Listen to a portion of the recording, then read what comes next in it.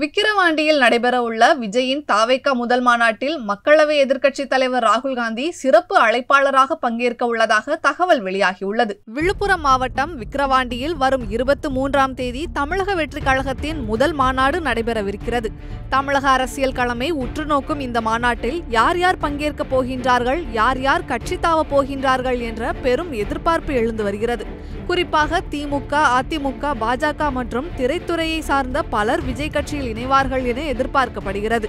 இந்த மாநாட்டிற்கு கேரள முதல்வர் பினராயி விஜயன் தெலுங்கானா முதல்வர் ரேவந்த் ரெட்டி கர்நாடக துணை முதல்வர் டி கே சிவகுமார் உள்ளிட்டோரையும் விஜய் அழைக்க திட்டமிட்டு வருவதாக கூறப்படுகிறது. அது மட்டுமில்லாமல் திமுக கூட்டணி கட்சியாக உள்ள காங்கிரஸ் கட்சியின் மூத்த தலைவரும் மக்களவை எதிர்க்கட்சி தலைவருமான ராகுல் காந்தியை மாநாட்டிற்கு அழைத்து வர விஜய் விரும்புவதாகவும் இது குறித்து காங்கிரஸ் மேலிட நிர்வாகிகளிடம் அவர் தொலைபேசியில் பேசியுள்ளதாக பரபரப்பு தகவல் வெளியாகியுள்ளது. இரண்டாயிரத்து ஒன்பதாம் ஆண்டு அப்போதைய புதுச்சேரி மாநில காங்கிரஸ் முதல்வர் வைத்திலிங்கம் முன்னிலையில் விஜய் நலத்திட்ட உதவிகளை வழங்கியிருந்தார். அந்த நிகழ்ச்சிக்கு சுமார் ஐம்பதாயிரத்திற்கும் மேற்பட்டவர்கள் ஒரே நேரத்தில் கூடியதை கண்ட வைத்திலிங்கம் அதிர்ந்து போனார். மேலும் இது குறித்து ராகுல் காந்திக்கு அவர் தகவல் தெரிவிக்கவே விஜயை உடனே சந்திக்க வேண்டும் என்று ராகுலும் அழைப்பு விடுத்திருந்தார். அதையடுத்து டெல்லி சென்று ராகுல் காந்தியை விஜய் சந்தித்து பேசிய நிலையில் அவர் காங்கிரஸ் கட்சியில் இணைவார் என்று பரபரப்பாக பேசப்பட்டது. ஆனால் கடைசியில் அப்படி அப்படி ஒன்றும் நடக்கவில்லை.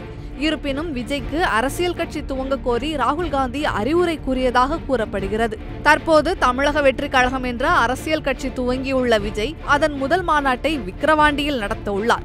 அதற்காக தீவிர முன்னேற்பாடுகளை கட்சி நிர்வாகிகள் முன்னெடுத்து வருகின்றனர்.